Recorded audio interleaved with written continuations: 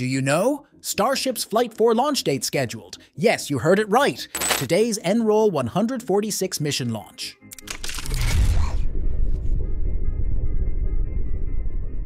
Hey, I'm Lucas. Welcome to the SpaceX community. Let's get started.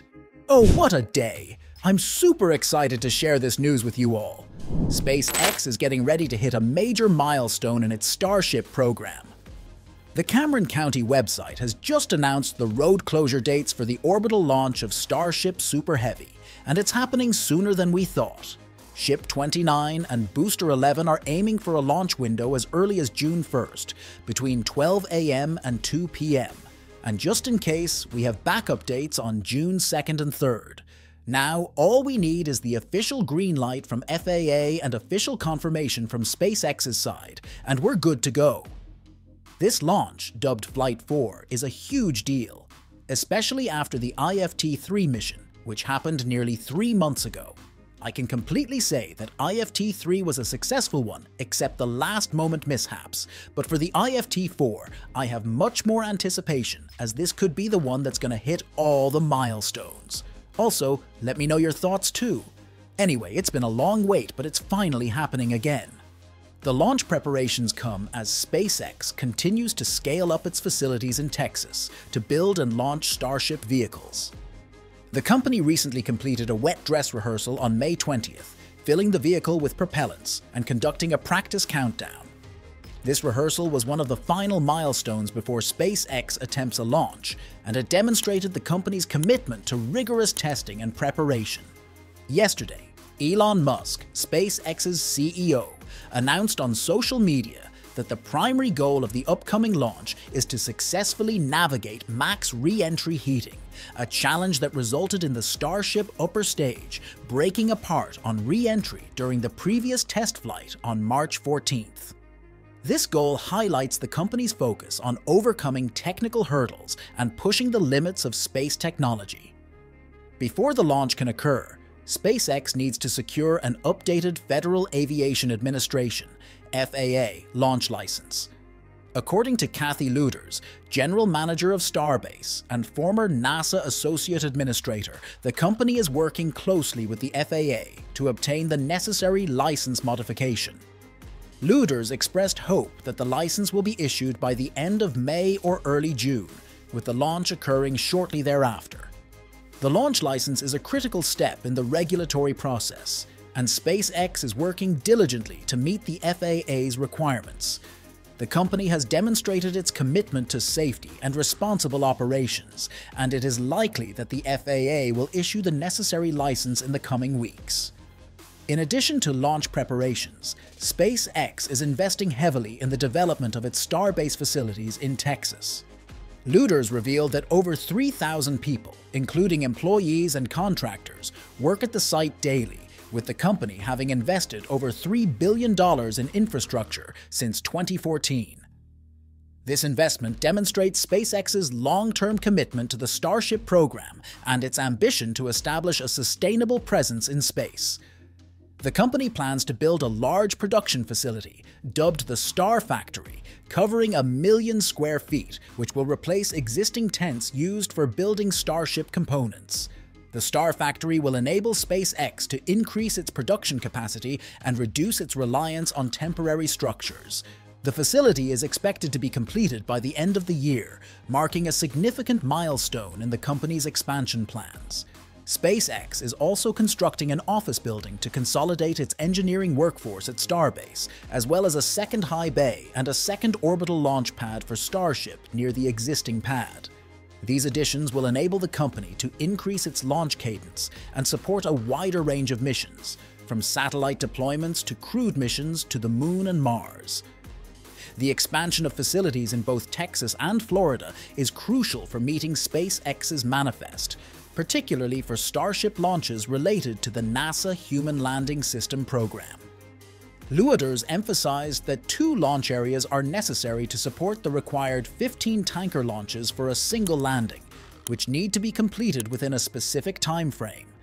This highlights the complexity and scale of SpaceX's operations, as well as its commitment to supporting NASA's ambitious plans for lunar and Mars exploration. As SpaceX continues to push the boundaries of space technology, the company is also focusing on the community aspects of its operations. Lueders discussed ongoing efforts to improve quality of life for employees, address traffic congestion on the single road leading to Starbase, and encourage local development of hotels and restaurants. These initiatives demonstrate SpaceX's commitment to being a responsible corporate citizen and a positive force in the local community. In conclusion, SpaceX is poised for significant progress in the coming weeks, with the Starship launch and facilities expansion marking important milestones in the company's development. As the space technology industry continues to evolve and grow, SpaceX is demonstrating its leadership and innovation, pushing the boundaries of what is possible and inspiring a new generation of space enthusiasts and entrepreneurs. I'd like to quickly remind you to subscribe to our channel if you haven't already. We regularly upload informative SpaceX and space news videos that you won't want to miss. Be sure to turn on the notification bell so you're notified whenever we release new content. Early on Wednesday morning, May 22nd, SpaceX launched a pioneering set of spy satellites for the U.S. government. A Falcon 9 rocket lifted off from California's Vandenberg Space Force Base at 4 a.m., carrying the NROL 146 mission for the National Reconnaissance Office, NRO, to space. This launch marked a significant milestone in the partnership between SpaceX and the U.S. government. As the company continues to play a crucial role in launching sensitive national security payloads into orbit. As is typical with NRO missions, details about the payloads and their activities and capabilities are scarce. The NRO usually keeps this information classified, and therefore there was no footage of the Falcon 9 rocket stages separating. This level of secrecy is understandable, given the sensitive nature of the payloads and the critical role they play in supporting national security efforts. About six minutes after launch, the first stage of the Falcon 9 rocket began its entry burn and returned to Earth. The first stage touched down on the drone ship, Of Course I Still Love You, stationed in the Pacific Ocean around nine minutes after launch.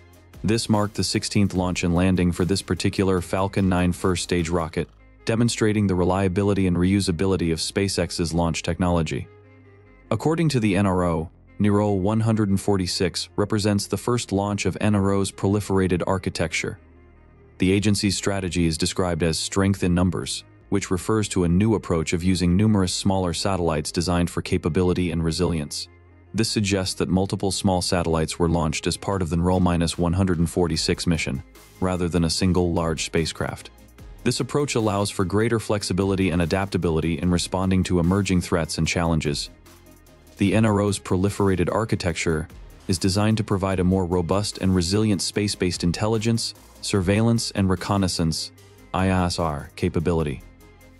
By launching multiple smaller satellites, the NRO can reduce the risk of relying on a single large satellite and increase the overall effectiveness of its ISR capabilities. This approach also allows for more rapid development and deployment of new technologies, enabling the NRO to stay ahead of emerging threats and challenges. A SpaceX mission description did not provide details on the satellite's destination or expected deployment time, which is unusual for non-classified missions. However, it is likely that the satellites will be placed in a low Earth orbit, LEO, where they can provide optimal coverage and support for national security efforts. The NRO has a long history of launching satellites into LEO, and this orbit provides an ideal vantage point for ISR and other national security missions. This launch marked the 52nd orbital liftoff for SpaceX in 2024, with 36 of those launches dedicated to building out the company's Starlink broadband constellation. SpaceX has established itself as a leading player in the global launch services market, with a proven track record of reliability and efficiency.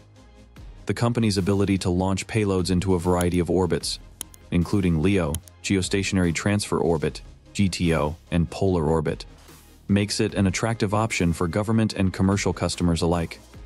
In summary, SpaceX's launch of the NROL 146 mission for the NRO represents a huge role in the partnership between the company and the U.S. government. The launch of multiple small satellites as part of the NRO's proliferated architecture demonstrates a new approach to space-based ISR and national security efforts. With its proven track record of reliability and efficiency, SpaceX continues to play a critical role in supporting national security efforts and advancing the global space industry. Thanks for watching today's episode. Don't forget to subscribe and give us a thumbs up if you enjoyed it. Stay tuned for another great video tomorrow.